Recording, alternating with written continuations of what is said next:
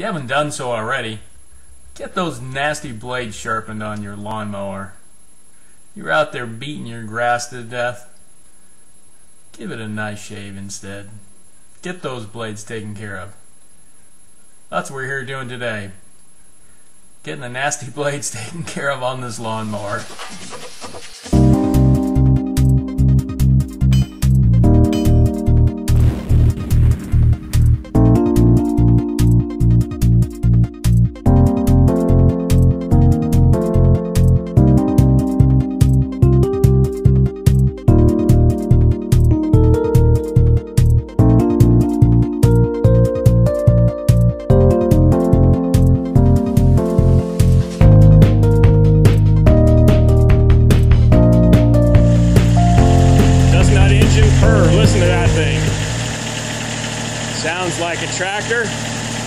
Twice its size.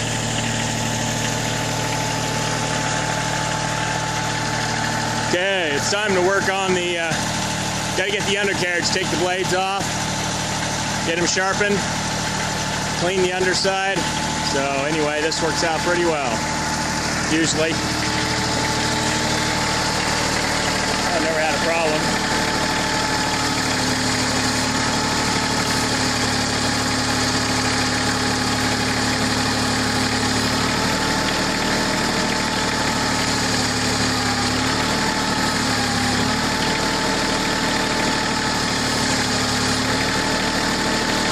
There we go. Let's get to her. These blades are going to take a bunch of grinding. Look at that.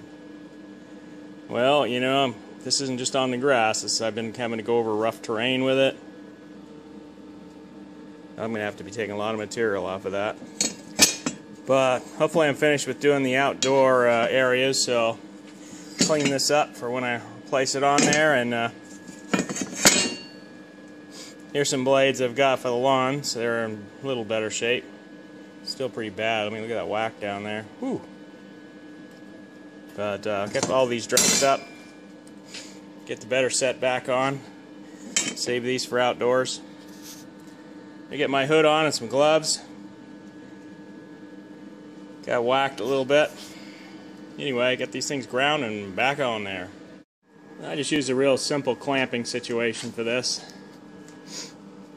with the angle grinder. Now, I've used it on my bench grinder. It's a little tough getting in there. I got a lot of grinding to do. This isn't just a touch-up job, so uh, it's going to be much better to do with the angle grinder and get the right angles the whole way. Just be quicker. Be sure you got your face shield and gloves. A Couple of quick tips while you're doing this. Oh, let me get my hood off all the way. Probably hear me better. Um, when you're grinding it and you get down to uh, you know where you're finished grinding it, uh, be sure you always have some water on hand. I mean, get the water before you start grinding, but yeah, nice cold water.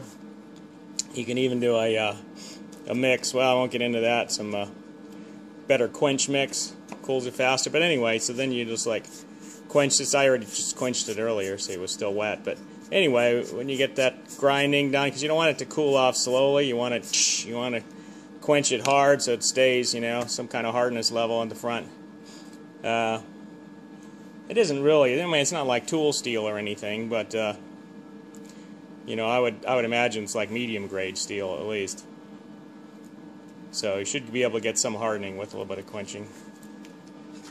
And the, uh, the other thing is, be sure when you're grinding, you want to take off about the same amount you did. If you ground a long time on the other one, then you know grind a while on this because you're going to have to balance them. Anyway, once you get done with the grinding, then you're going to go to balance them. So, uh, you know, you'd be taking it off one way or the other kind of deciding whether I'm even going to grind these other blades, whether I'll just buy new ones.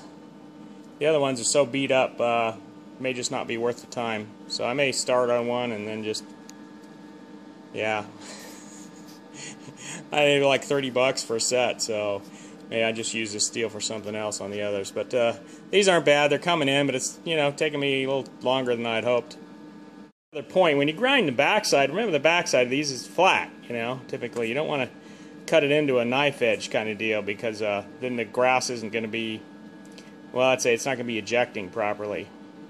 You know, if you cut it half and half, then, you know, grass could just as well go down as it could uh, go up and out the hopper. So that's just a little tip on that. It's kind of okay if this thing kind of rounds a little bit like scimitar-ish.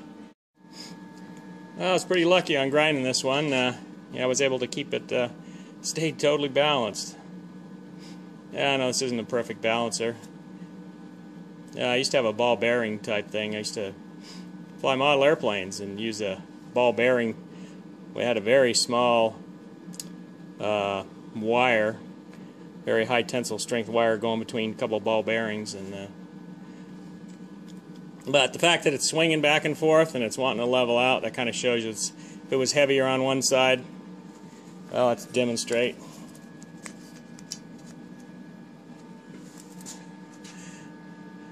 See, I mean, you can see the difference. I just hung this little Sharpie on there, and you can see, you know, how much it's hanging down.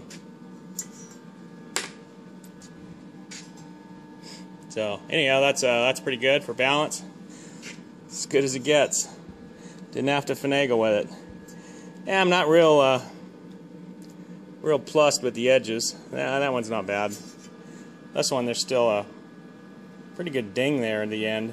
But I know the other side, when it whacks the same spot, we'll take it off because it was a little cleaner there. And uh, just can't grind off another eighth of an inch of the blade. You know, this is out in the country. In the city, well, I used to hone these things down just like a, a knife blade. Another little tip, when you're doing this, always grind the worst side of the blade first. So, you know, and then you'll know how deep you want to go in it, and then you also will know when you go to grind the other side, you're going to grind, you know, about the same amount of material off. Try to keep it balanced. If you, if you do the easy side first, well, you might have to come back to the easy side to, uh, you know, balance it out with how much you take off the bad side. But, you know, this is just a mower blade. Frankly, Scarlett, I don't give a damn.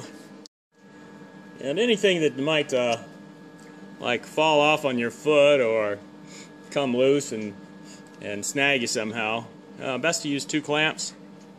Uh, here I got two Jorgensen clamps. Yeah, if you haven't used Jorgensen clamps before, you kind of want to keep the uh, sides of the clamp parallel. You get the best clamping force. And typically what you want is you first tighten up with the the inside the clamp that's closest to the jaws. You're going to tighten that one up first, and then for your real tightening here, you get more leverage from this side. So tighten that up and then crank down on that. So I try to keep these, uh, you know, the most accessible. But two clamps, this thing, uh, if a clamp vibrates a little bit, it's not going to fall off on your foot and cut into you. Uh, that's not a lot of fun. Uh, and also on other types of parts, you want things flying around. So yeah, I really suggest doubling up on clamps on anything that might be problematic. Uh, really beat up blades for the lawnmower.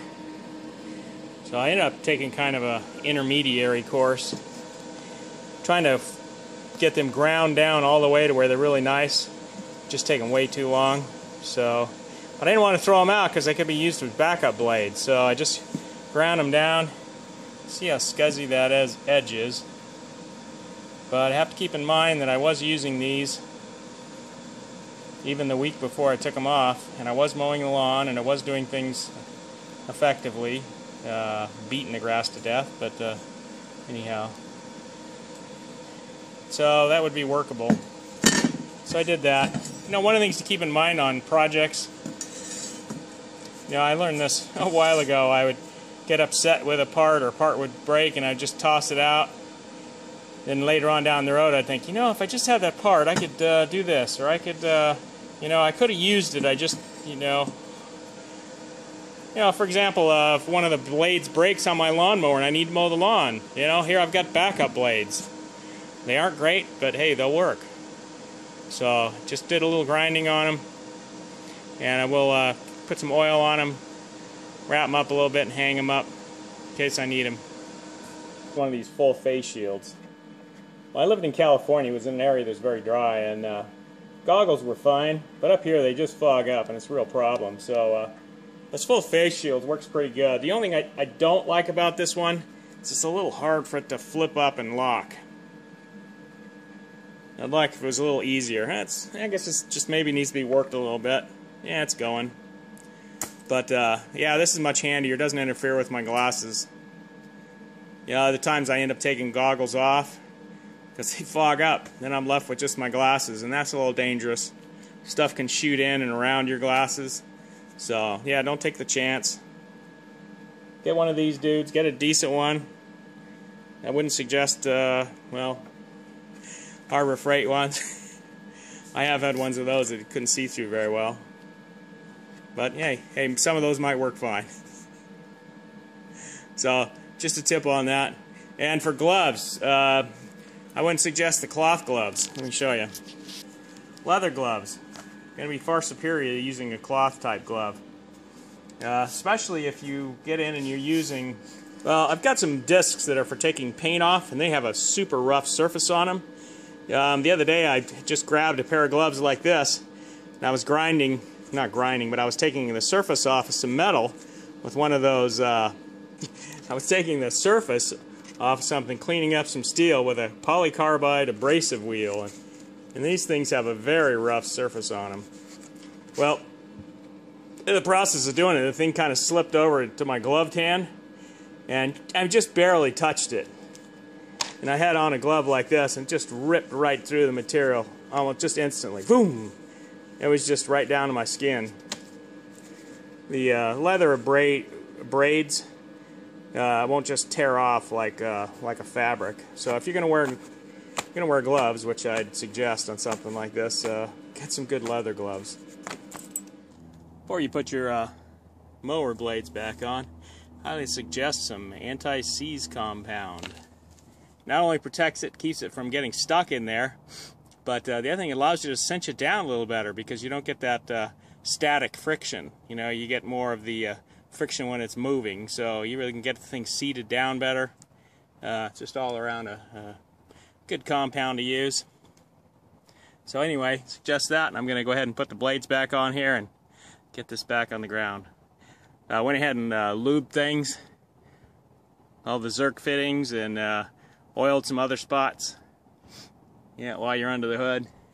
If you got a mower with two blades, be sure they aren't going to smack into each other. And you want to normally set them at 90 degrees opposed, approximately. Time to put her back down, test it out.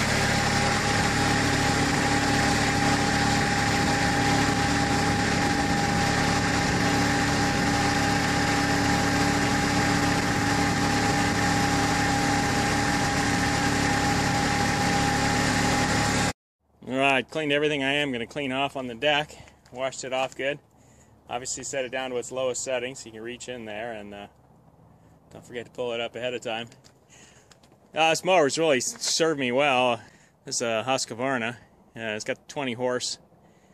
You know, you read a lot of bad things about all of these mowers these days. I've heard about cracking in half and all kinds of things like that. Uh, once I got the chains on the back of this, it's really served me well. Uh, before that, I, I, couldn't even mow the lawn sometimes, it would slip. Uh, I always carry a, a, long board with me, to use like an oar when I get stuck so I could push off. Um, now the only thing I'm using that for is uh, if I run across a running mole or something and I can whack them like a polo player. But uh, I've gotten a few of them. But uh, yeah, I use it actually for lifting this thing up. There's a couple places I have to get that a little out of the way. My little leg trick for holding up the uh,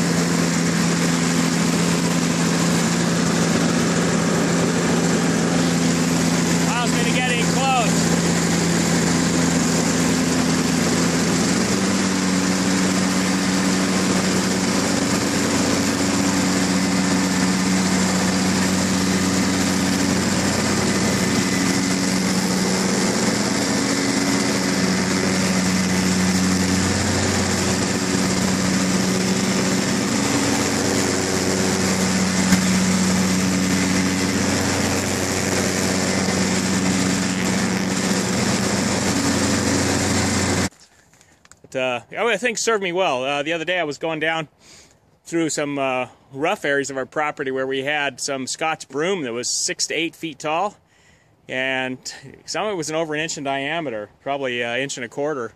And uh, I was just driving over it and uh, grinding it up. Not sure why the blade got pretty chopped up. Uh, and, I, and there was, of course, some rocks here and there. This did the worst damage, of course. But uh, yeah, it was it was doing well. I was able to go up the hill, some very steep hills, and uh, you know mow some very deep uh, deep grass. So anyway, I think it served real well. I made a tactical mistake when I bought it that I didn't get the larger one because I have uh, concrete concrete retainer walls around my grass and they drop off like eight feet on the outside. Well, this thing I have to run my wheels right up against the concrete. I mean over the concrete to where, you know, if I make a mistake, I'm going over the edge. So, well, yeah, it would have been nice to have, Now you can see on this side. So in terms of the cutting, it really doesn't extend out much. Another couple inches would have been a real blessing on that. So not something I thought about when I bought the mower. It's been a great mower, and I better get on the mowing. RH here, signing off. happy grass, happy mowing. RH. Relentless Homesteading signing off. Please subscribe. Whoa.